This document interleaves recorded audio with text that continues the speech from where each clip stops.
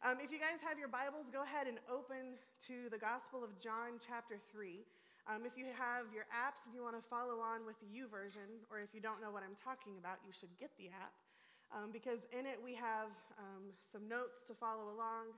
Um, a couple of different scriptures are going to be in there, and it's just a good place because you can save it and then look back on things later. Um, while you guys are opening the app or turning to John chapter 3, um, I wanted to talk a little bit about something that a lot of you probably enjoy. And who went on the float trip last weekend? Show hands. okay, so the camping aspect of that, right? So think about after a long day, which last Friday, after a long day of class, you guys go to rural Missouri, and it's a nice night. We'll just pretend there aren't mosquitoes because they ruin everything. Thank you, Noah. They should not have made their trip. Um, think about sitting around a nice fire or a fire pit and in a comfortable camping chair, like the super comfortable kind, not the janky one that's kind of falling apart, but you're just sitting there and like totally relaxed, really content. The stars are everywhere because on this night there are no clouds out. There's like a giant moon that's kind of like a spotlight, not ruining the view and making things too bright, but enough that you can see everything pretty clearly.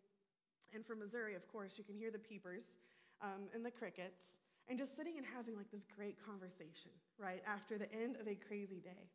Now, a lot of that you can actually experience at my house, so if you're ever like, oh, this was a stressful week, let me know. I'll crank up the fire pit for you or open up the hot tub and you can come and like look at the stars and just but this is kind of what I picture with our text starting tonight because Jesus and Nicodemus have a late night conversation. Now, granted, it may not be in rural Missouri, obviously, it wasn't, um, but this is kind of the setting that I have in mind after a long day. But before we get there, I kind of want to give you guys a running look at what else has been happening in the Gospel of John before we have this late night chat that takes place between Jesus and Nicodemus, and also share with you a little bit of what happens afterward. So we have the testimony of John the Baptist about who Jesus is. We have this retelling of the baptism of Jesus. We have Jesus calling his disciples and their responses and reactions. And then we have Jesus, the wedding of Cana, where he turns water into wine and saves the day, but he's like, hey, like, it's not my time. Um, and then we have Jesus cleansing the temple. And this is at Passover time. And it's just after this that we have this conversation late at night between Nicodemus and Jesus, which I think is a really interesting nugget because, as we'll see a little bit later, Nicodemus was a religious leader, and so he sees Jesus cleanse the temple and then is curious about talking with this man. Then, after this conversation, Jesus continues his ministry and doing miracles. As we see in John chapters 2 through 12, there's a lot of stories about Jesus' miracles and signs. But something that's really beautiful, and if you ever watch the Bible Project videos on YouTube, if you don't, you should, because they're kind of phenomenal.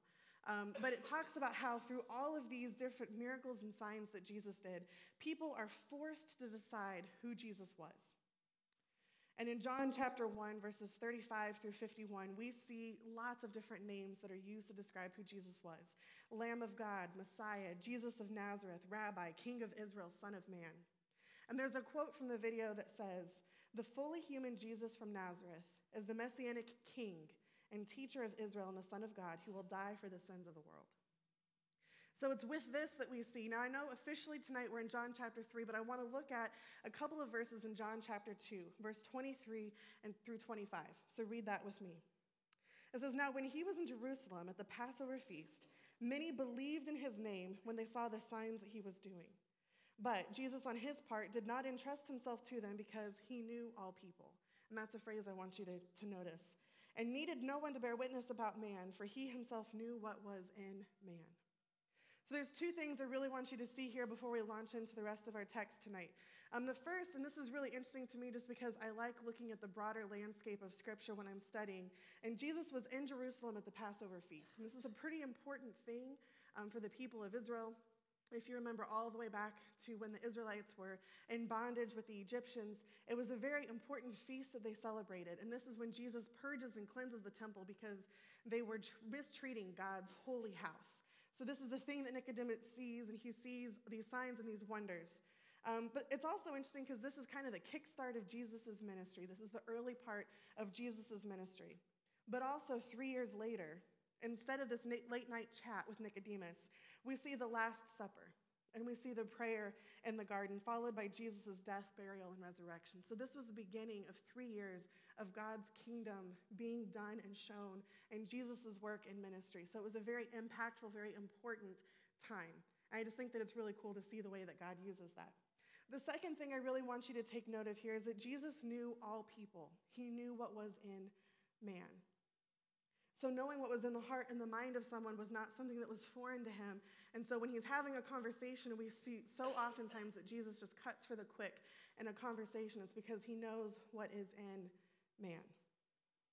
And tonight we're going to see Jesus seeing Nicodemus, Jesus knowing Nicodemus. And I think that those are two things that are deep to the core of who we are. We want to be seen and we want to be known. The last thing that we want to be is invisible, right, or forgettable. And we see Jesus having this conversation with Nicodemus.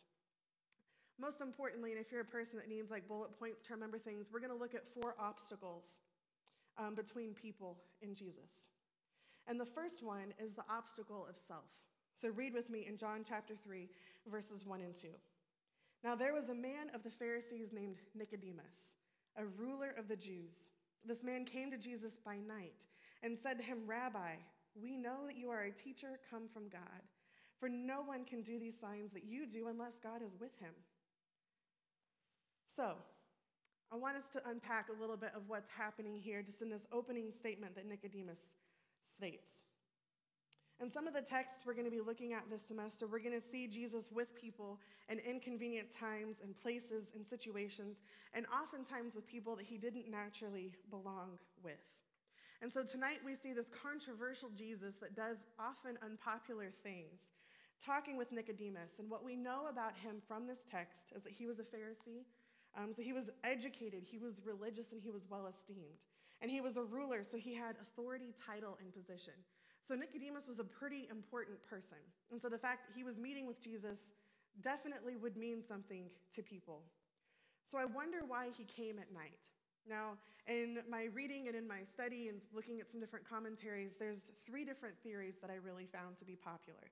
The first is perhaps he came out of respect at night, knowing that Jesus was busy doing ministry and wanting time to discuss questions with him without interruption.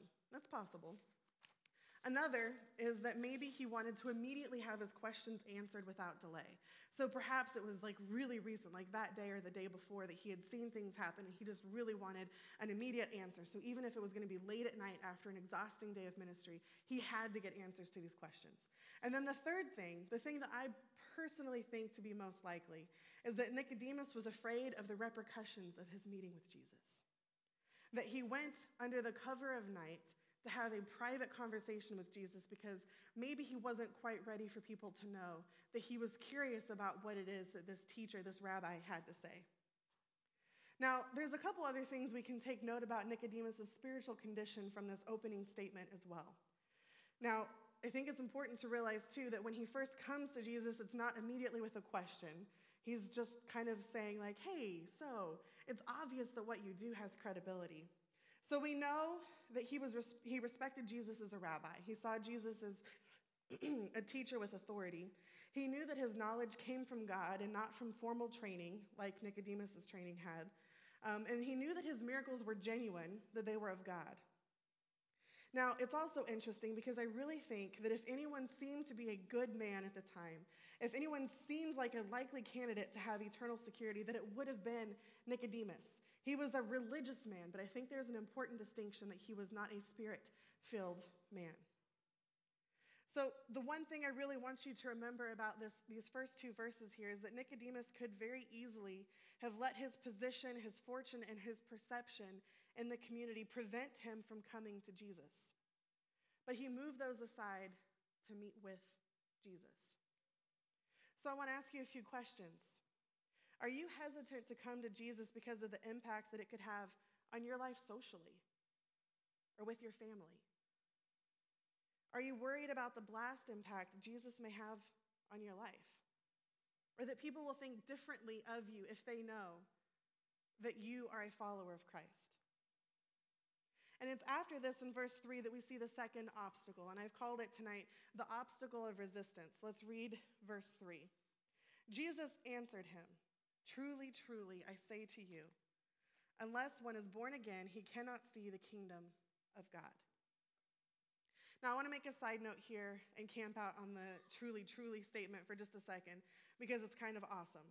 And there's a few things that I want you to see here. Three times in this conversation that Jesus has with Nicodemus at night, he says truly, truly, and it is everywhere in the Gospels. And it's often throughout Scripture, but especially in the Gospels.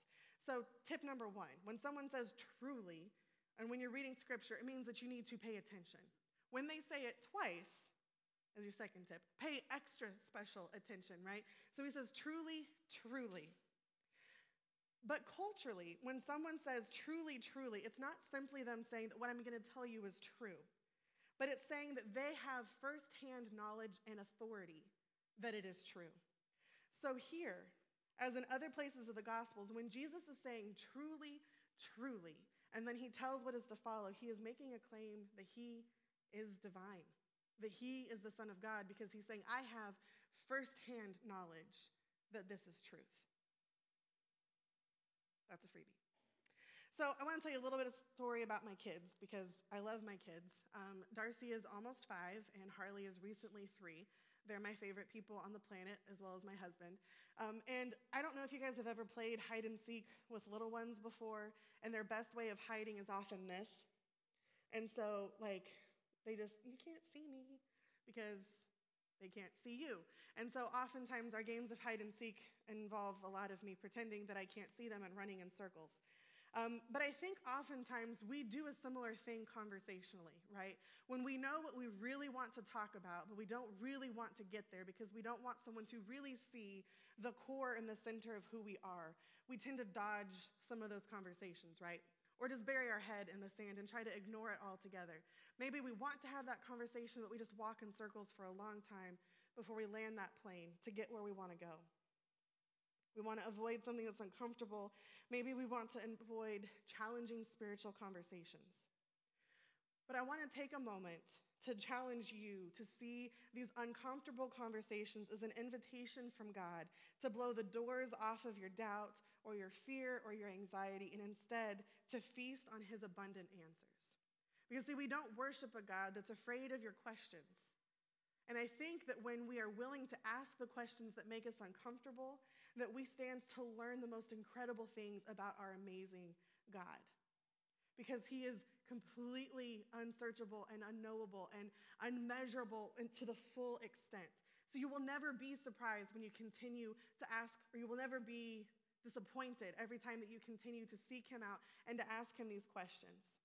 So I don't ever want you to be afraid of your questions. I may not know the answer to them, but as a staff, or hopefully your other friends that are believers, would be willing to walk with you to try to find the answers to these questions because I know that our God is more than capable to answer them all.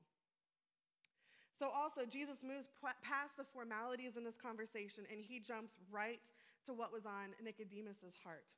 And I love that. See, Jesus, like we talked about at the very beginning, he knew people, he knew their hearts, he knew their minds, he knows what they really need, and he knew that what Nicodemus wanted to talk about wasn't what he said in his opening statement.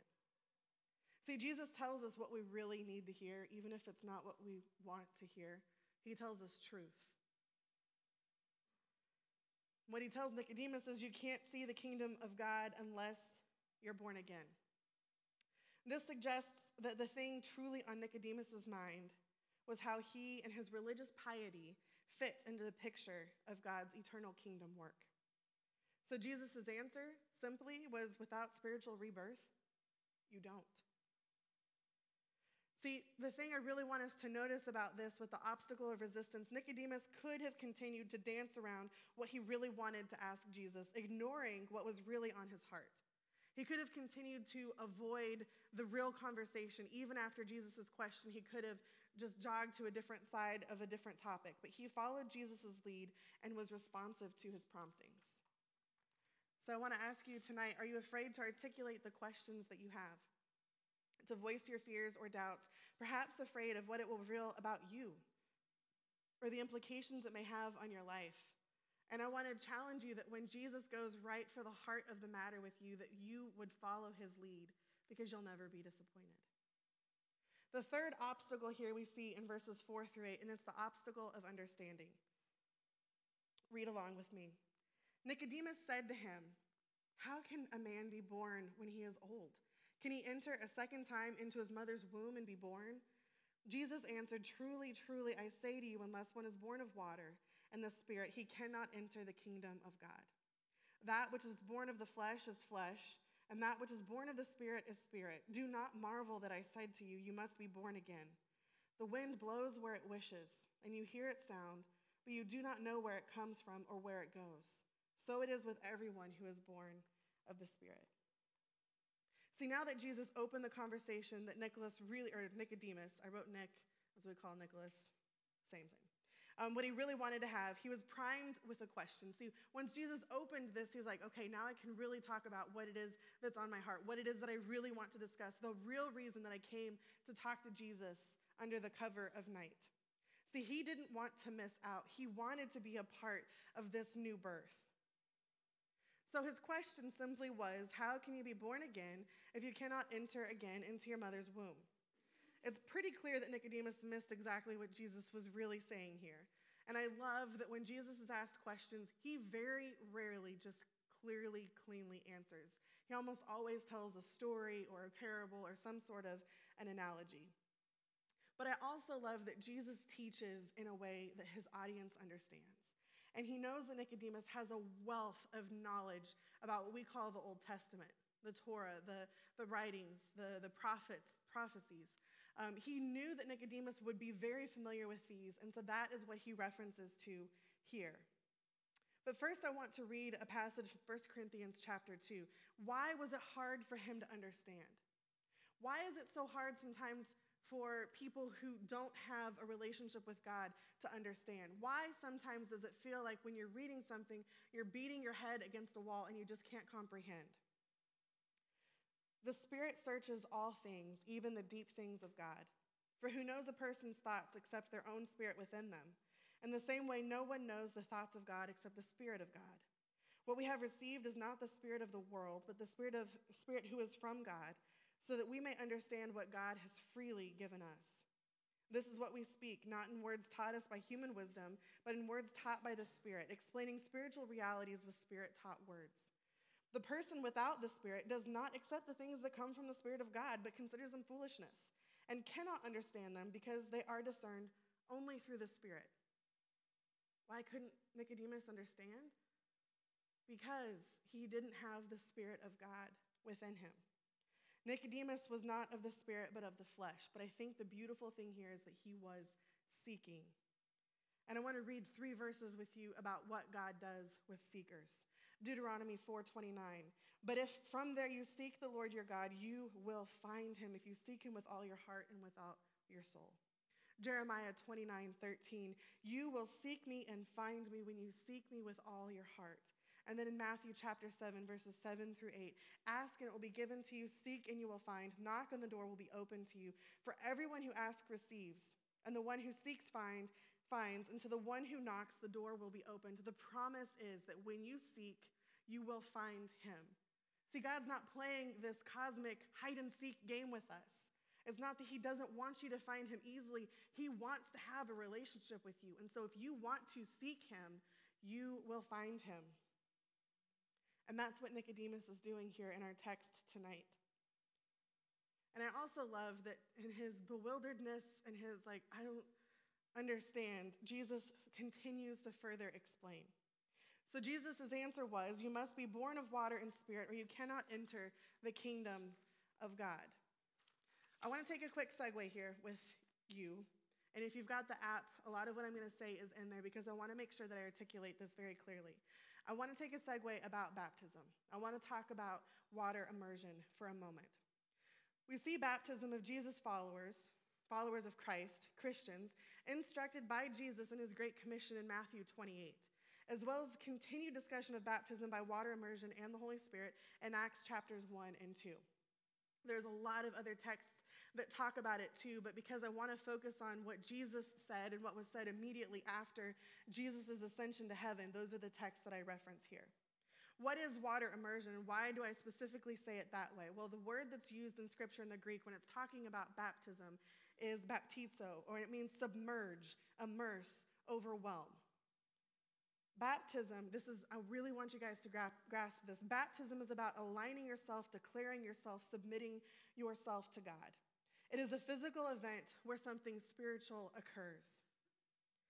See, I'm going to share with you guys a weird analogy. Don't shut me out because like it really sounds strange, but I promise I'm going somewhere with it. But it's my favorite way to explain what I think that baptism is. I think that baptism is to salvation kind of what sex is to marriage. I know it sounds weird, but let's talk about this for a second. At what point is somebody married? Is it when they say the vows? Is it when they kiss? Is it when they put the rings on? Is it when they consummate? And we often ask this question at what point is somebody saved? Is it when they, they state the good confession? Is it when you know, they have this relationship with God? Is it when they're baptized? And instead of asking this question of how little can I do to be a Christian, just like we wouldn't ask how little can I do to be married, if you're married and you're not having sex, you're missing out on a beautiful part of marriage. If you claim to be a Christian and you're not baptized, you're missing out on a beautiful part of your relationship with Christ. It's commanded as Jesus' followers that we are baptized, that we follow Jesus' example. Just like when you're married, you need to have sex with your spouse. So I know that it's a wacky illustration, but I think that it really shows what this relationship is looking like and what you stand to miss if you don't have that. But Though I believe that Jesus' baptism, referenced in John chapter 2, sets the foundation for baptism, that his con- conversation with Nicodemus supports it, and that Peter and Paul continue it at great length, I don't think that's the crux of the conversation here. But the reason I want to take the detour is because a lot of people do use this text to support the need to be baptized as a believer. And though I do believe you need to be baptized by immersion, as a follower of Jesus Christ. I don't think that this is the text to use to support that. Ultimately, what Jesus is saying here is that spiritual birth is by God's hand. Though this text is not the place for the proof or the mandate of water immersion for following Jesus, it is saying that salvation, spiritual cleansing, the process of being made right with God, happens at the hand of God alone. That's what Jesus' answer to Nicodemus here is here. So what is he talking about then with being cleansed with the water? What is that reference then if it's not talking about baptism? In the app or in your Bibles, open to Ezekiel chapter 36. See, again, Jesus knows his audience, and he knew that Nicodemus would understand that he is referring to Ezekiel 36, verses 24 through 29a. And it says, For I will take you out of the nations. I will gather you from all the countries and bring you back into your own land. I will sprinkle clean water on you, and you will be clean. I will cleanse you from all your impurities and from all your idols. I will give you a new heart and put a new spirit in you. I will remove from you your heart of stone and give you a heart of flesh. And I will put my spirit in you and move you to follow my decrees and be careful to keep my laws. Then you will live in the land I gave your ancestors. You will be my people, and I will be your God. I will save you from your uncleanness.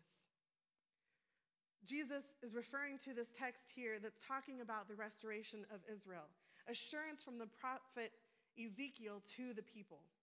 But see, it's interesting because most of the Jews at Jesus' time thought that this had already been fulfilled, and they were just waiting for the Messiah's defeat of Rome and subsequent earthly reign. They thought their eternal security was in the bag. They already thought that they had been cleansed and that they were made right. And what Jesus was telling Nicodemus is no, that has not come, but it is coming. And the enemy isn't Rome, the enemy is sin. So, what this means, Jesus is telling Nicodemus that cleansing and a new heart and a new spirit all come from God, not anything that a person can do.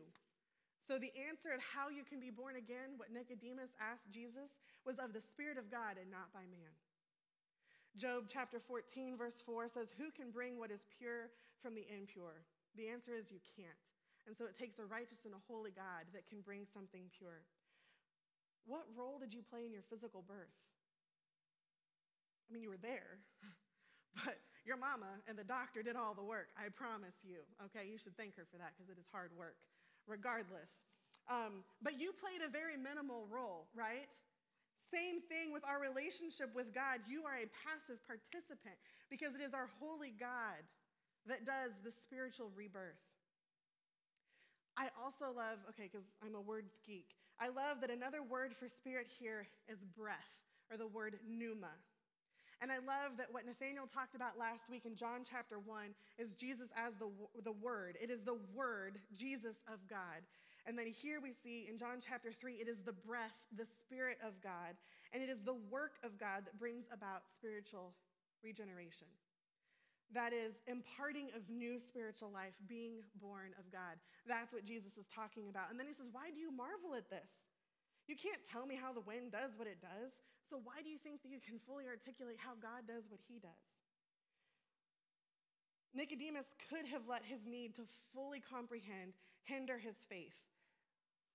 He was invested, but even when things seemed bleak or impossible, he was totally committed. How do I know this?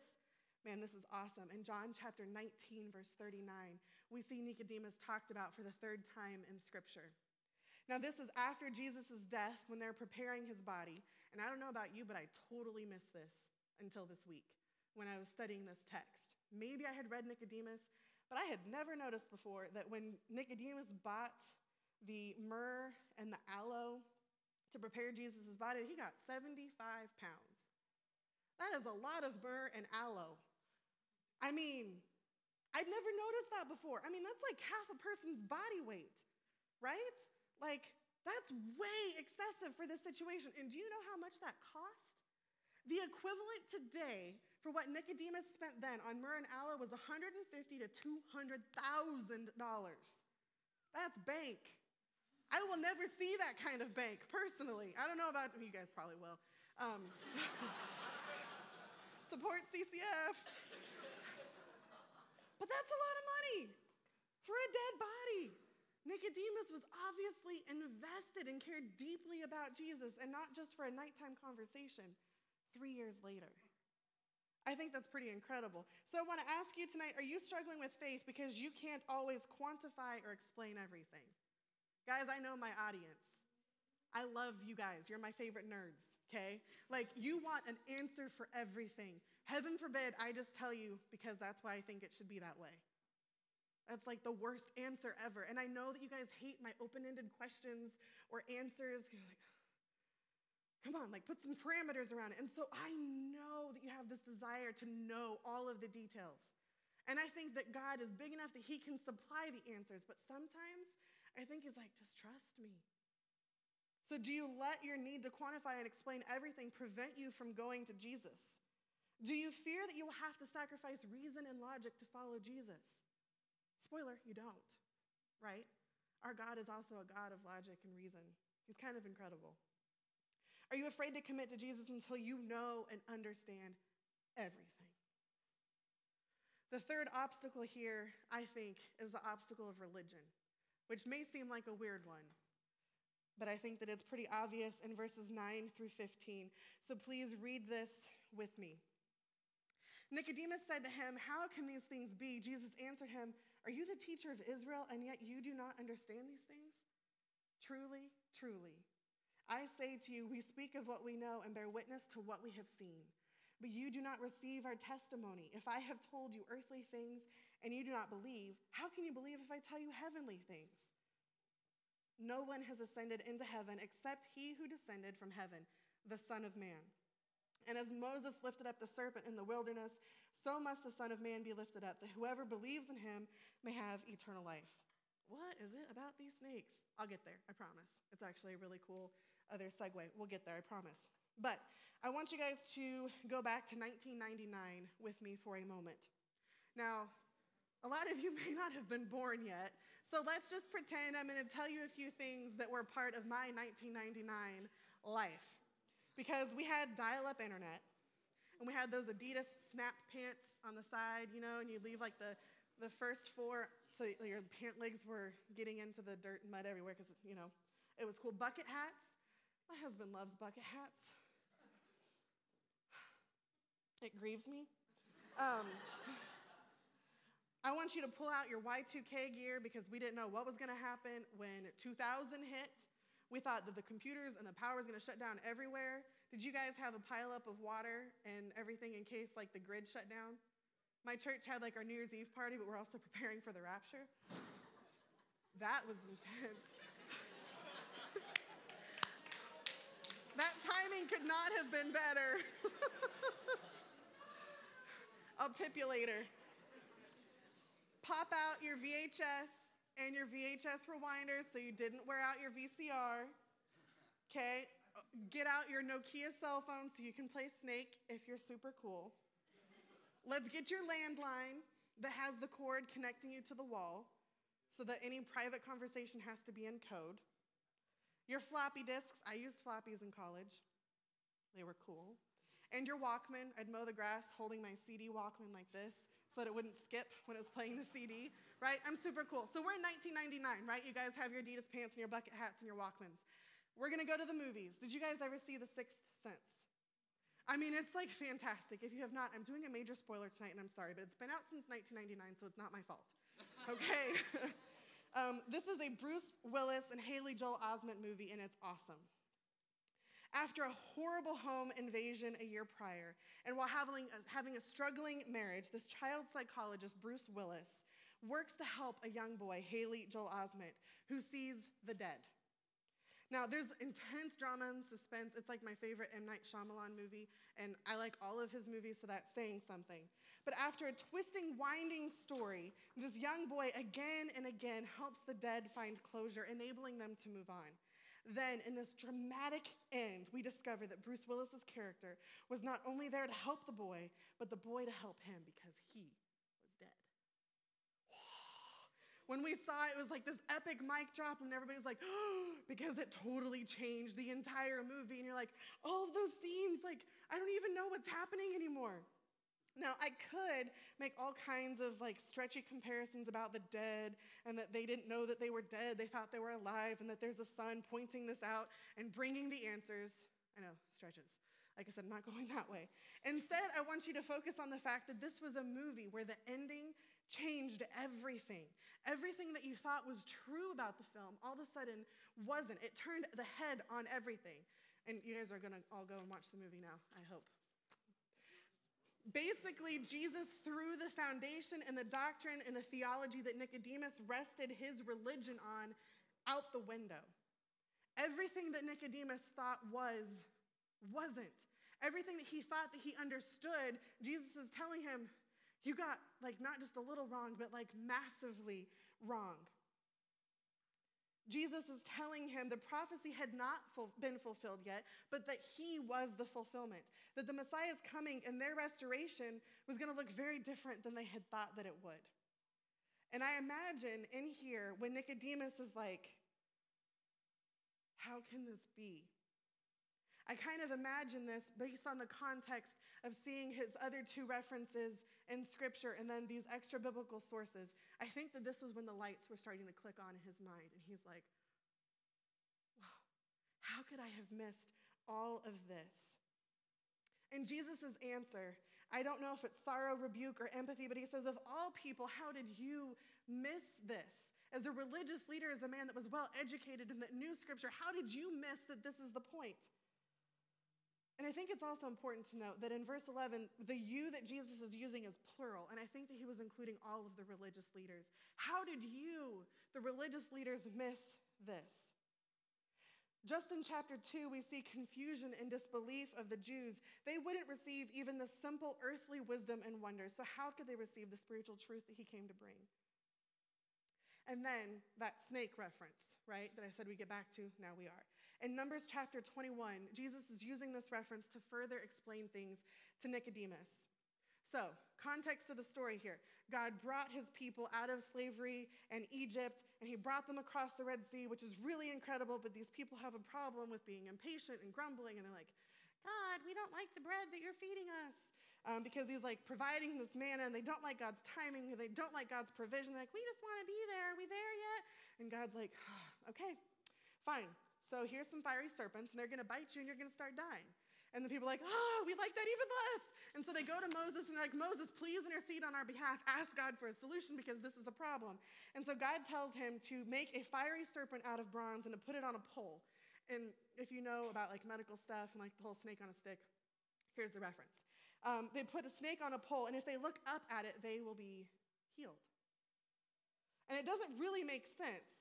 See, their salvation from these fiery snake bites, I really want to know what kind of snake it was. Um, healing from these deathly snake bites came from nothing logical. There was nothing that they could do to fix it, no magic like poultice that they could put on it or whatever, but only looking at the snake on a stick.